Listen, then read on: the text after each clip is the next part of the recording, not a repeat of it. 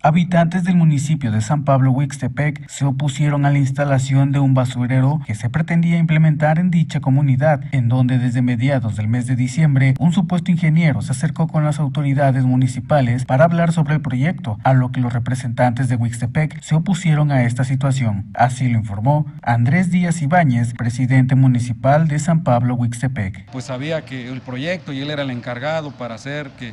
que ahí este, se diera la explicación y que este, pues de alguna manera se instalara ahí el, basurero o, dar la explicación o que se hicieran este, asambleas informativas para ver si la gente lo quería. Nuestra postura fue tajante y en ningún momento nosotros aceptamos ni siquiera que informar ahí al cabildo ante la negativa de las autoridades municipales, Andrés Ibáñez señaló que la información de dicho proyecto fue llevada al Comisariado de Bienes Comunales, en donde a su vez convocaron a una asamblea en donde se tocarían los pormenores del proyecto. Sin embargo, un grupo denominado los Defensores del Pueblo arribaron a dicha reunión, lo cual ocasionó un conato de violencia en la zona. Entonces trataron de llevarlo a la asamblea comunal,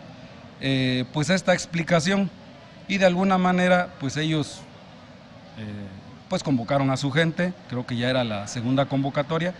para que personal del gobierno del estado, incluyendo a este ingeniero, pues dieran la explicación. Eh, dicho sea de paso, es la convocatoria que salió por ahí de Semaesdes o algo así, donde convoca a los ayuntamientos. Cuando iban a comenzar a dar la explicación, por ahí hay algunos videos, eh, pues ya no dejaron que se hiciera esta explicación, se hizo un zafarrancho, no se salieron dos, tres golpeados, la gente de gobierno se retiró. De acuerdo con Andrés Ibáñez, diversos municipios ya han ofrecido dinero para que Huixtepec reciba basura en su tiradero, poniendo el caso del municipio de Jojocotlán, quien habría ofertado 150 mil pesos semanales. Han ido muchas autoridades, representantes de acá de la capital, de la este, central de abastos, líderes y todo, a platicar ahí con nosotros como para que se les diera permiso de tirar este, sus residuos allá en, nuestro municipio, San Jacinto Amilpas, Santa Cruz Amilpas, Jojocotlán, inclusive ahí este,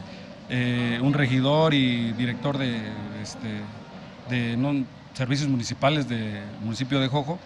eh, fueron y nos dijeron que eh, ofrecían 150 mil pesos a la semana por tirar más o menos de 20 a 25 camiones de basura a diario. Alejandro Santiago, N.